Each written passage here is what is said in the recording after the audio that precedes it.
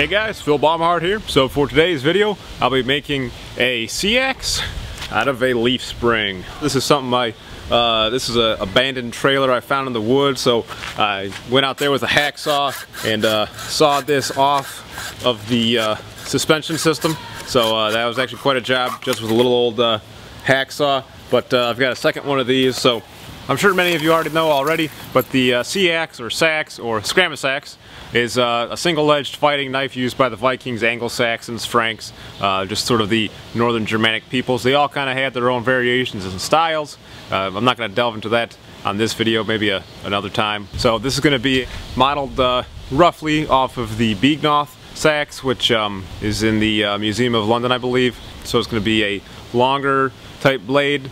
Uh, the customer is looking for a 16 to 18 inch blade and kind of the the broke back Wharncliffe uh, design. First thing I'm to do is break apart this whole uh, bundle and I got an angle grinder now to do that.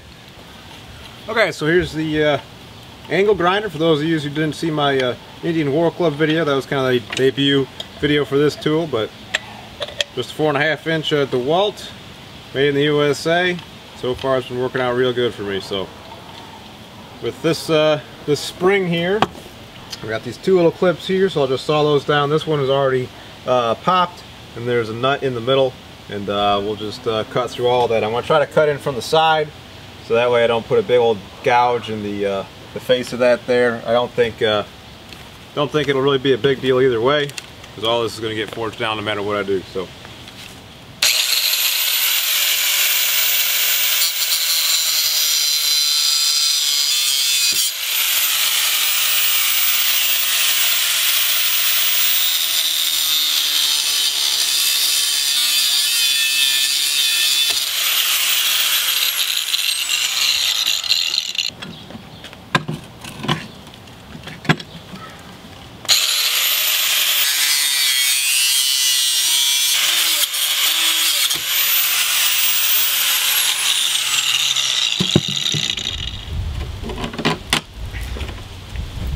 The spring is sprung.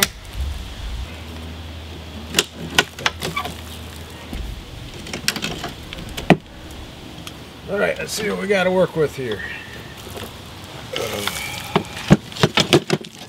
Nice. Okay, so we got some uh, good long pieces.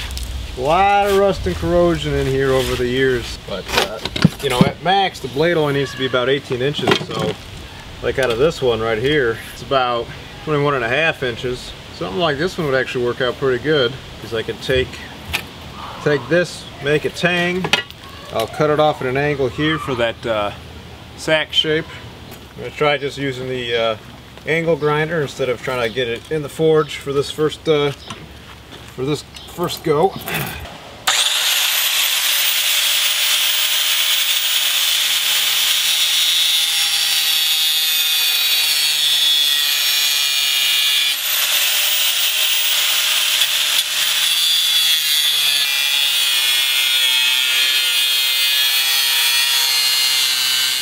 Okay, so we're almost through there. You can see the line on the other side appearing. I think the blade is getting dull and um, so rather than change out a blade, start dulling that up, I'm just going to get this hot and I'm just going to bend it uh, like I would uh, any other piece of steel that I'm cutting.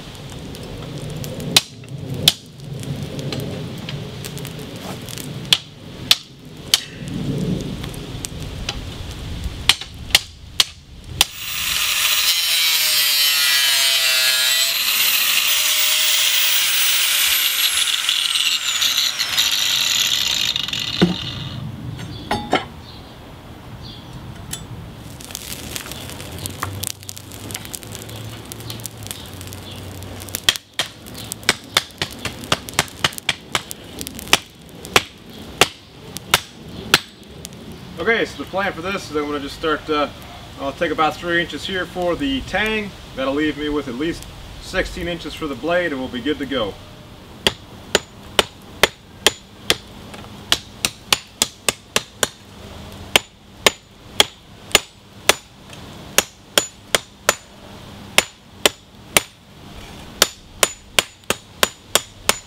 Okay, so you can see that I'm, so I'm holding it with the blade facing uh, up towards me and hammering uh, like this. So that way I get a sharper angle at the spine portion of the tang. And I've got a, a whole video uh, kind of talking about this, but basically if we look at the uh, knives from archaeology, you can see that's how they are formed, where it's more of a gradual uh, taper going from the blade to the tang, and it's a harder transition from the spine to the tang. And the way you do that is making sure that the spine is on the anvil, because when you hit it, it's the anvil that's doing the compression, not the hammer, at least when it's hot. And this steel is pretty thin here at the end of the spring because it kind of tapers off, so I switched to a lighter hammer because you can see it kind of uh, bending off to the side when I would hit it. But we're, uh, I think we're in good shape.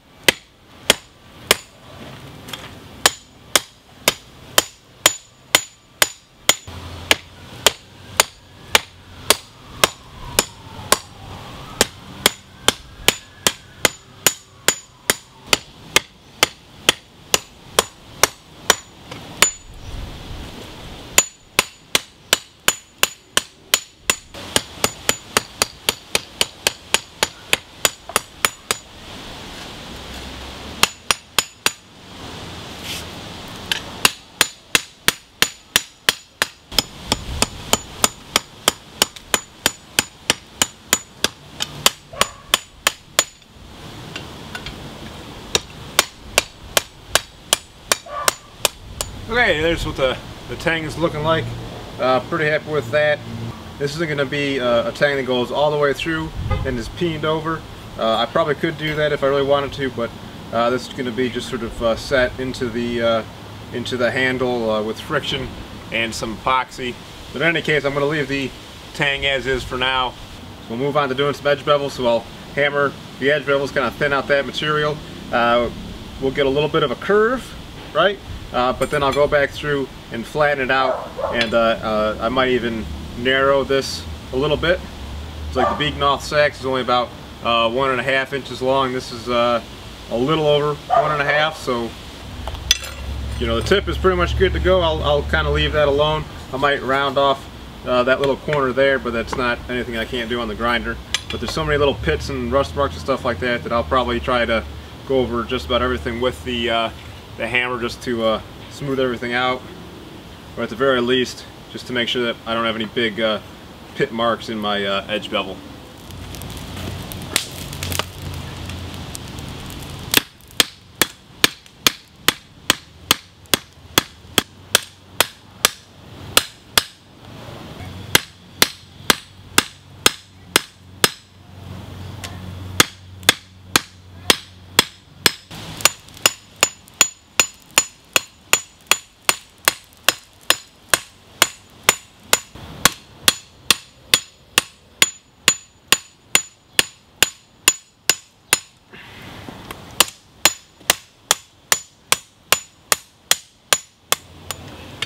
Okay, most of the uh, corrosion is right in here. The, the front seems to be pretty good.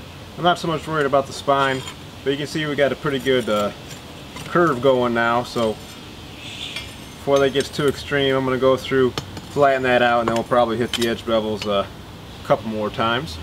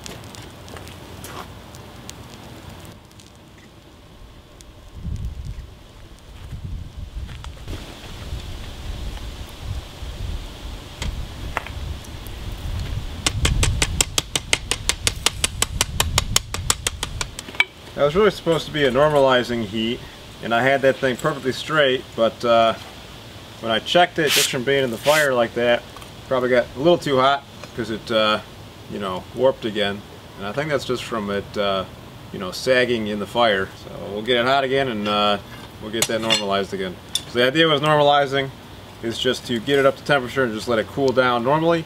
Um, and that just sort of helps relieve any stress or anything weird that's that's in there from the, the forging and uh, you know the original spring shape and then after that, I'll put it back in, and anneal it, and let it just cool down uh, very slowly in the, uh, the charcoal ashes.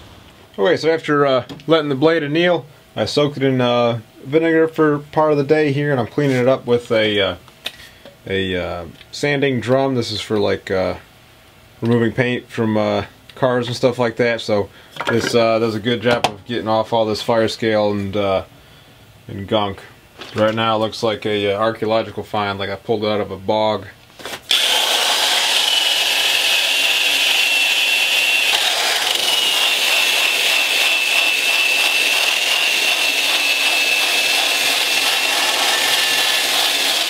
Okay, so you can see that it's still, uh, got a lot of pitting left over from the uh, from the spring. It looks kind of cool, especially since the uh, there's not so much on the the edge side where I you know, was hammering a little bit of a bevel in, which was intentional. That was the, the plan there. So uh, I think it looked kind of cool uh, with this being the edge, this kind of being pitted and, you know, a little more uh, ancient looking. There's the other side. So kind of cool.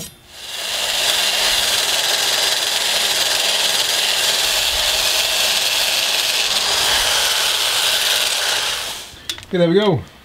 you can see right in here where I forged this tanging, you can see all the the metal's kind of squished over and folded over and it leaves these kind of lines. Uh, you see that in archaeological finds from the uh, from the iron where you have higher and lower carbon contents especially you know the uh, the lower carbon steel is eaten away over the years thousand you know over a thousand years and it leaves uh, you know high and low spots in the steel itself but stuff like this just is cool to me that it, you know it kind of creates a uh, connection to history and a connection to the uh, original blacksmiths I'm trying to emulate. That's part of why I like doing what I do. The way that I do it is that it um, i try to make similar weapons to the ones that were made in antiquity and I try to make them in kind of a similar way. Of course I'm using modern materials and modern tools in some instances just for the sake of time but stuff like this just looks cool to me.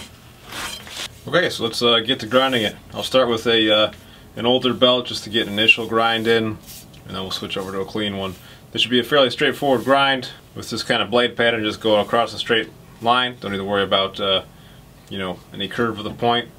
Uh, I kind of didn't do very much hammering at the uh, at the point end, so you can see it's still thicker there, which is good because the uh, the tip always seems to thin down um, a lot thinner than the rest of it it's really easy to get this too thin and then you start losing material and then you can also risk uh, having it melt off in the quench or break off.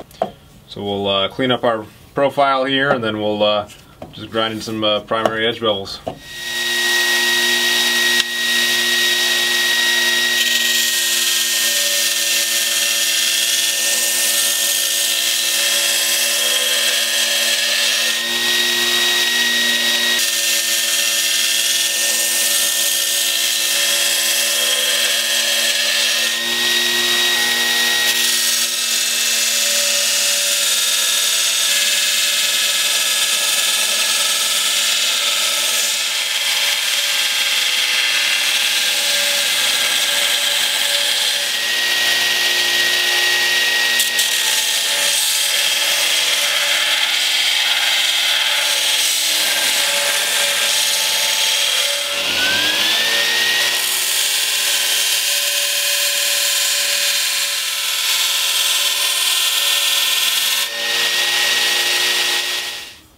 Okay, so now to uh, shape up the tip, I'm going to try to uh, bring the spine portion down to the where the edge is going to be. Because right now I left it uh, pretty square, which is what I want because uh, you can see it got pretty thin down on the rest of the edge.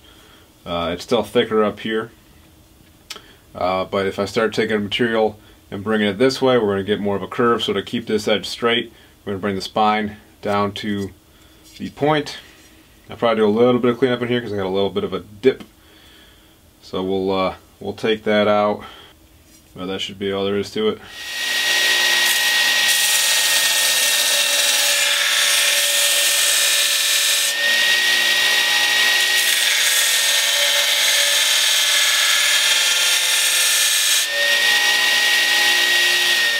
Okay, well I'm happy with the uh, the rough grind on this. So I'm going to go ahead and start working on the handle here. So I got a nice piece of uh, ashwood here. And I've got the width of the uh, the tang up here marked on the wood. So I'll drill that out and uh, we'll get this fit in there. So I got my quarter inch uh, long drill bit. I got a bit of tape on there to kind of stop it from going any further than where I want it. Uh, I could go all the way, but somewhere right about there is where I need it to be. I don't want this tang to go all the way through because if we look at a lot of the historic examples they actually look just like this where it's just a tang and it just uh, stops. So uh, this will be mainly friction fit and epoxy holding this bad boy together. But uh, I'm trying to make this kind of as uh, historically accurate as possible. So I think uh, we're doing good so far. So let's uh, drill this out and see what we can get.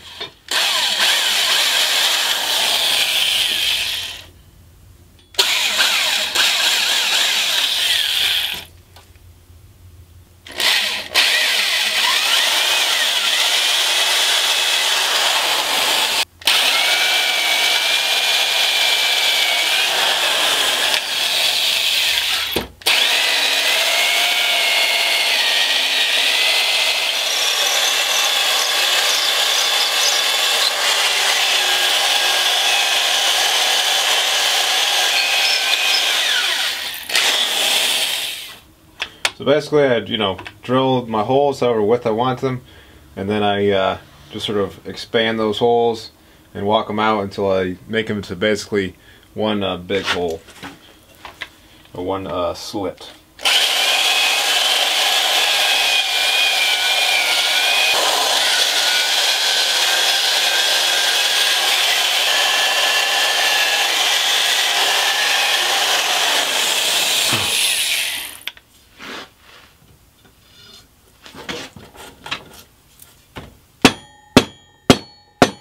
Okay, so I got the uh, the blade fully seated in the uh, the log here.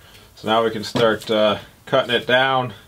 We'll split it down and basically just take away everything that uh, doesn't look like a knife handle. So we've got a little bit of uh, curvature in the grain.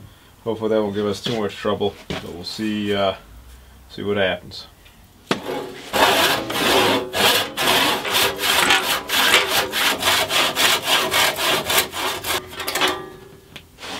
So there you have it.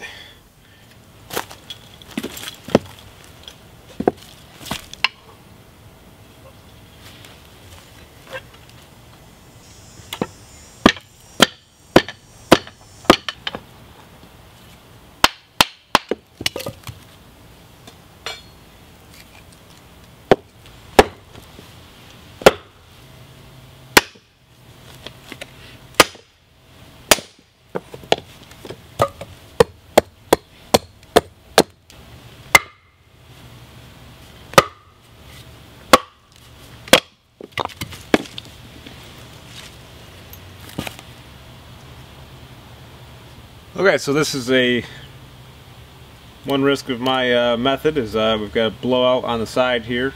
Uh, so the drill wandered a little bit too far that way and because of the way the, the grain of the wood wanted to take it, now we've got a giant uh, hole at the side of our handle so uh, we got to start over.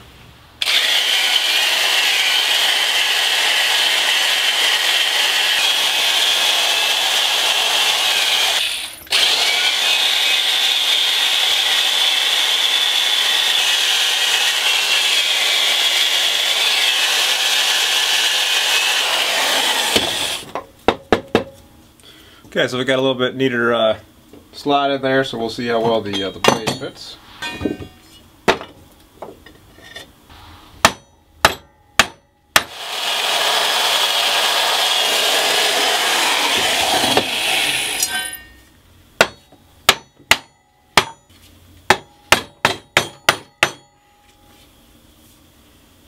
Okay, that's a pretty good fit.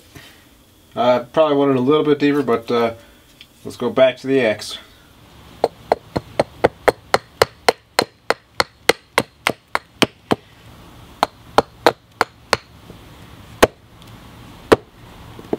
Okay, so we've kind of kind of squared up all the corners on this.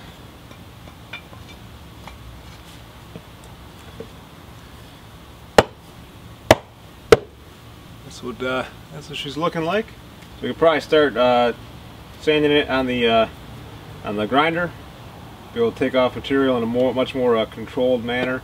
Uh, I still like using the axe for some of it because uh, you get the strongest part of the wood. You know you kind of let the grain stick together. Gotta figure out which way I want to be facing which direction. I think we'll do this because uh, that'll keep the back fairly straight. So I'll do a little bit more with the axe.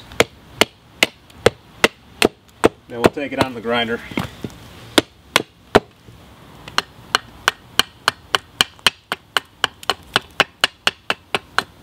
Alrighty, it's starting to look like a handle. So let's take it over to the grinder and start uh, refining it in a bit.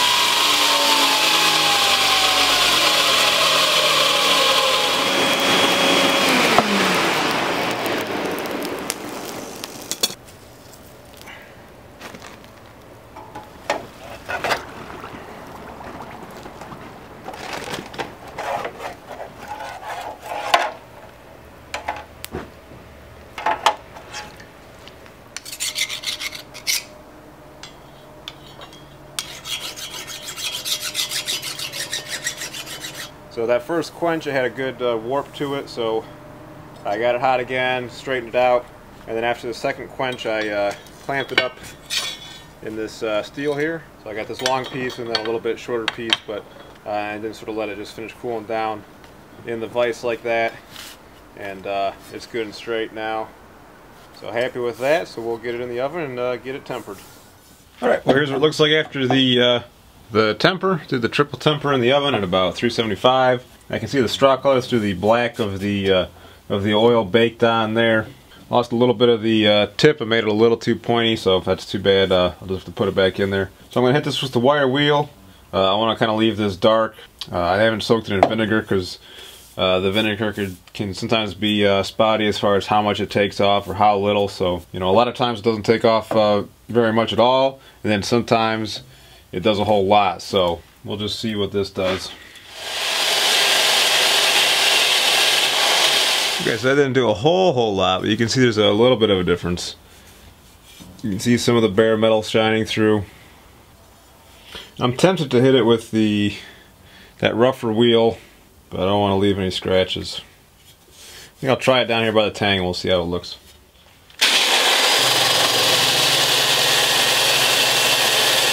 So you can see that just rips that scale right off of there except for the uh, the deep spots. So so that, uh, this one is a little bit worn out. I've been using it for quite a while. So uh, when these things are brand new, they leave pretty deep uh, gouges and score marks. It's just something to be aware of. I think I'm going to try it.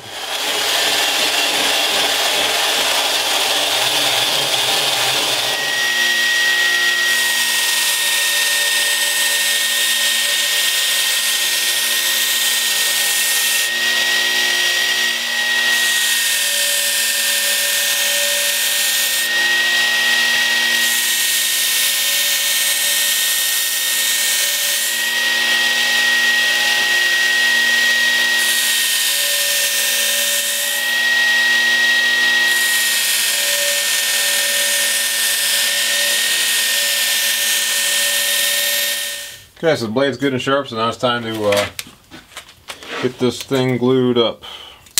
Okay, so I also uh, took a grinder to the uh, the tang just to expose that metal. That should help uh, get it to stick on there better. So I got some uh, clear weld of the uh, JB Weld epoxy, and it's a very liquidy stuff. So I'm just going to squirt it down in there, and I'll be able to mix it up. I taped up the blade because I expect this to kind of be a mess. But I want everything that's not a blade to be filled with epoxy. So it'll test fit with the blade. See how far that will go in there. See if anything squirts out. Use the tang to uh, kind of mix it up a bit too. What you don't want is for the uh, glue not to be mixed.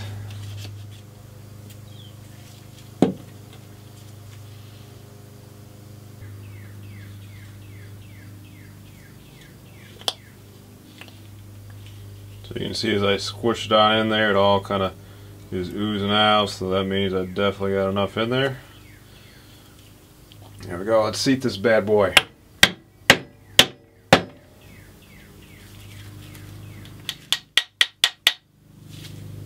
Okay, I think that's good and on there, so we'll get the tape off, clean up all this excess glue, and we'll be good to go. Okay, so here's what the uh, handle's looking like. I uh, started putting the uh, linseed oil on it uh, without the camera rolling. I kind of forgot about that. So this is uh, yesterday and I put a couple of thin coats on here. Uh, no stain, just right over the, the raw wood. So I uh, sanded off the uh, all the epoxy that was on there and I sanded it down to about uh, 4,000 grit sandpaper. So this is a really smooth handle.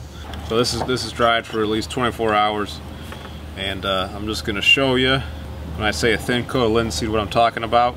I've got my uh, pure raw linseed oil that I always use and you know dip my finger in there just enough to get it on my finger and that's already uh, probably going to be too much. So I'm just going to dab it in a couple of spots and I will use another finger to spread that around. So just the thinnest amount of oil to uh, to get it on there. Because if you put too much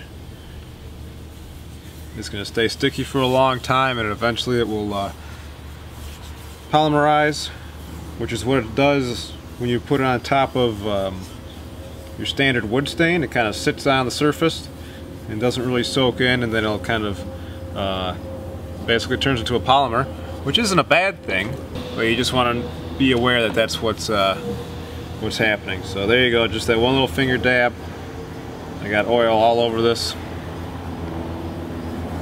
and I'm just going to leave this in the sun. It's a nice sunny day and we'll let the sun just sort of let it soak in and penetrate and that'll give us a real nice real nice finish. Okay, here's what the uh, finished knife is looking like. So this is a uh, leather sheath. Has got my uh, birch oil uh, finish on there. Came out really well. And um, there's the, the blade for you. Linseed oil uh, finished right on there real nicely. The wood soaks it up uh, rather quickly. And it doesn't take much because it's already a pretty dark wood, so get a little oil on there and it just comes out looking uh, real nice. Uh, so overall, really happy with the way this knife came out. Got some real nice heft to it. This is a really good slasher and chopper, so I did a few cutting tests with it, nothing uh, too crazy. I had a um, cut through a honey rock melon and some uh, milk jugs just to just to see how it would cut. I didn't want to try chopping through any logs. I don't want to uh, abuse this too much because it's a uh, custom order going out to uh, Raven Banner Creative. And he was looking for, uh, on the sheath, he wanted something that would hang uh, vertically off the belt so it'd be easier to wear kind of like in a uh, modern setting, you know, so if he's out walking in the woods, what have you, he can wear this. he didn't really want the horizontal sheath system, so I, sew, so I sewed on these two belt loops. And this is modeled off of some Carolingian finds uh, as well as some sword scabbards from the uh, Vendel period in uh, Sweden. I actually got a chance to go to a museum and see some of those swords and I'm going to have a uh, separate video on that. Fits in there quite nicely. I did a little bit of wet molding uh, around the handle. that slides in there real nice and that's locked in there good and solid so nice sheath and you can still kind of get a full grip on the handle. Um, sometimes I'll leave a finger out as I pull it out and I can uh, wrap it on the rest of the way. Uh, but you can also just grab the whole thing, pull, and it's ready to go. So yeah, this is definitely a formidable uh, fighting weapon. I can see why the uh, Vikings and Anglo-Saxons uh, like these. These still have a very fine stabbing point, but they're still, you know, the center of percussion is still up here, so it still has got a lot of forward weight and uh, chops and slashes really well. A lot of power to this, even in a short little blade like this, and this is like a uh, 16 inch blade. So, And with that, uh, that spring, you can see it's got lots of uh, pitting and corrosion on there, and I just think that adds to the uh, adds to the look of it. So hopefully uh, the customer likes this knife, and if you want if you want me to make one of these as well, get a hold of me through Facebook, Instagram, or through Etsy, and we'll see what we can do for you. So this is a knife that you know, he wanted to be as historically accurate as possible. So uh, there's there's no, so it's a narrow tang, um, no rivets, no guard, just a blade, and then the handle fitted on there. But I think it's a real handsome knife, and uh, you know, with that kind of hand forged uh, feel, it's definitely got some better character to it than just taking a piece of uh, flat stock and you know cutting an angle off, then grinding it down. I think this looks a lot nicer than uh, something done all through uh, stock removal. But you could definitely make a, a uh, you could definitely make a sax through uh, stock removal. Nothing wrong with that. But uh, forging it out just uh, adds a little something and seems to make it a little more historically accurate. So, all right. Well, hopefully you guys enjoyed the video. Thanks so much for watching, and until next time, be more Viking.